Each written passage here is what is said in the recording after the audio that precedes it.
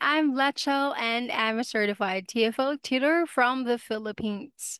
My job is to provide educational services to my clients. During our lessons, I make sure that my students have enough speaking practice to improve their natural speaking skills. I help them correct their grammar and pronunciation mistakes.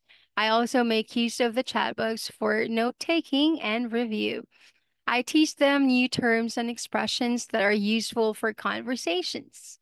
I am outgoing and love outdoor activities like biking, running, and playing volleyball. I also like to binge watch Netflix at home. We can talk about anything that interests you. I have five years of teaching experience in physical and online classes.